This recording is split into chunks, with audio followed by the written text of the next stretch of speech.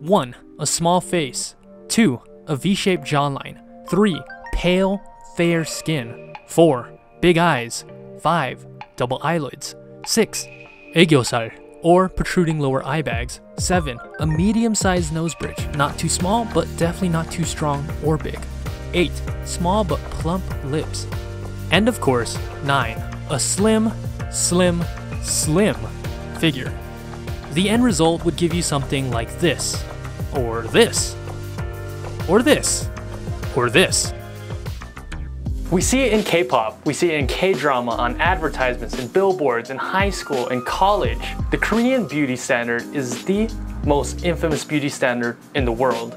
And not only is it the most strict, it is the most specific beauty standard in the world. If you walk through any Korean grocery store, you'll see the shelves stocked with facial masks, lotions, moisturizers, BB cream, hair products, all for the purpose of making yourself look beautiful. 크리미 컨실러 여기 꼭 읽어보세요. Perfect Serum 특히 다크서클. Makeup is my town. There are thousands of channels dedicated to K-beauty and K-makeup.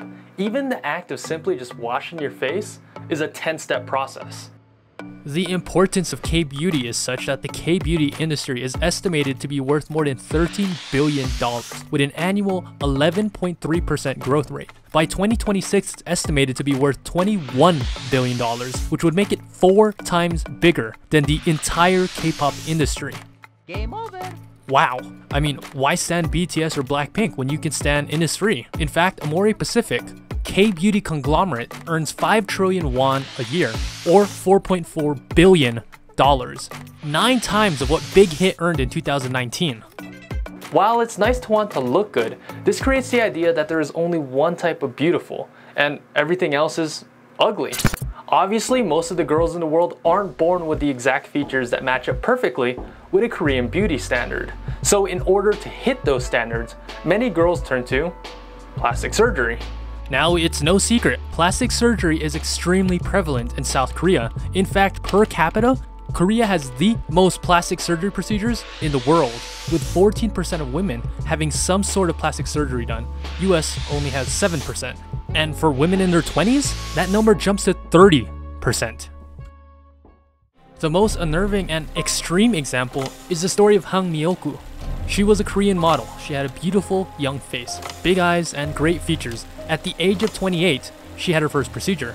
From then on, she became addicted to the chase. The thought of becoming more beautiful for skin that was more smooth and youthful, it drove her to have more and more procedures. It eventually came to the point where the doctor refused to do any more surgery because of how enlarged her face had become.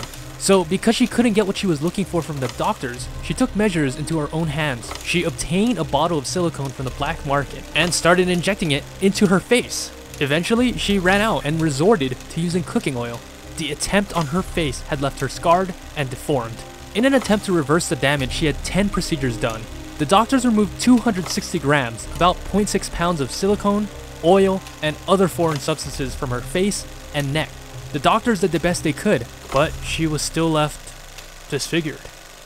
Just a disclaimer, this is not an attack on plastic surgery.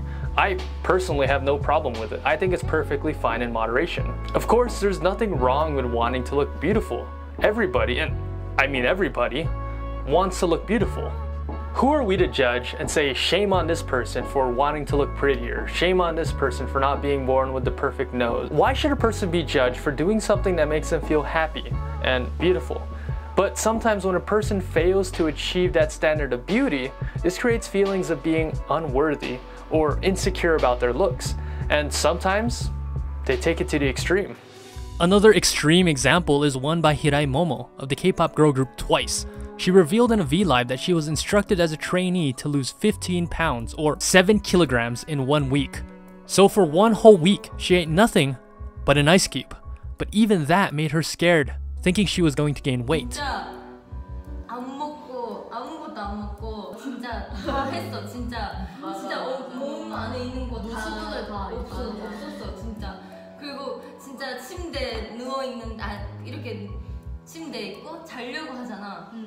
뭔가 못 일어날 것 같아서 무서워서 응. 눈물이 나는 거야 갑자기. 일주일 동안 먹었어? 아무것도? 얼음 하나 이런 거. 진짜. 얼음 하나. 얼음 하나. 근데 이거 먹어도 진짜 살찔 것 같은 거야. During the Blood, Sweat, and Tears era, Jimin of BTS said he had to go through a diet that made him feel extremely ill. He also had to lose 15 pounds, this caused him to pass out often during practices. Sistar's Taesom once ate nothing but cucumbers for three straight weeks in order to lose 22 pounds or 10 kilograms. Now, this is just three of many, many examples of idols, celebrities, or even just normal people trying to keep up with the beauty standards enforced on them. Because this so called beauty is so sought after and desired, many people will go to extreme, unhealthy methods to achieve their goal. I wanted to find someone that had first-hand experience of this in the Korean entertainment industry, so I was able to speak with soloist Grazy Grace, an artist in the Korean music industry.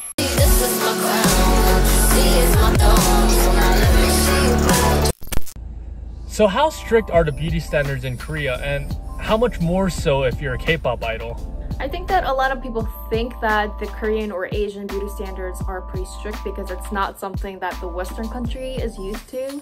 I do feel like there is less um, inclusion of different sizes and colors compared to the Western countries, so it definitely may seem strict, but I guess to Koreans or to Asians, it doesn't seem as strict because that's kind of like what we grew up with. For example, in K-pop, if you go for girls, sometimes if you go over 50 kilograms, people might think that you're a little bit overweight.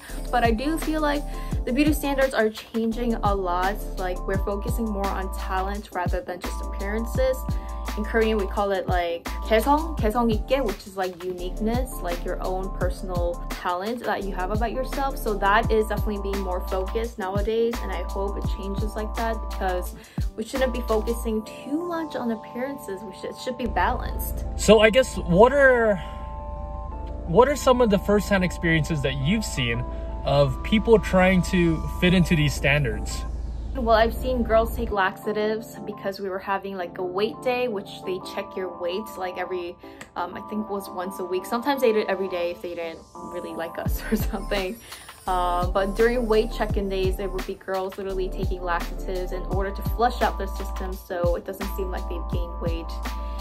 And that's kind of, it's not good for you if you're forcefully taking drugs if, if, it's, if it's not something that you're supposed to be taking because of health reasons. There would also be a time when girls would eat yogurt instead of meals and then there was like company people who would see us buy yogurt and they were yelling well not yelling but they were kind of criticizing the girl who got the yogurt saying that that yogurt contained too much sugar too much this and that. Why are you eating that?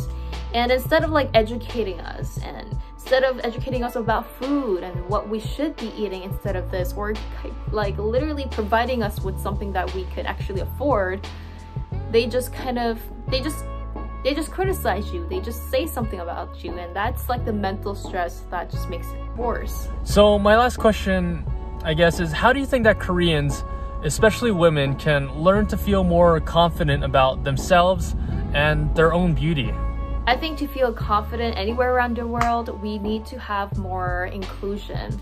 We need to include more sizes. We need to include more beauty standards, such as if you don't have double eyelids, it doesn't mean you're ugly. It means you're unique. That's beautiful. You know, having whatever it might be, having a square jaw instead of V-line, which V-line is very popular in Asia. I have a freaking square jaw and they didn't think this was okay. And I almost even thought about going to surgery, like having my bone shaved because it wasn't inclusive in the beauty standards. If we include so many more things to this pot of beauty standards, I think it would make a lot of people more confident. And I think everyone is fine the way they are, but it is also okay to not be fine and want to tweak some little things because we all have our own beauty standards and we all have our own happiness and what we want to do to our, our own bodies and our own confidence. So we should be just okay and be more open-minded with everything. Whether you want this or you don't, you should also be very open-minded. So what do you guys think? Is the Korean beauty standard too strict? Especially on idols? Let me know down below in the comments. Hey guys, special thanks to Grazy Grace. You should check out her channel and her new single called Planet. I'll leave it in the description below. Hey guys, if you like this video, remember to hit subscribe. That'll really help out this channel. And otherwise, until next time.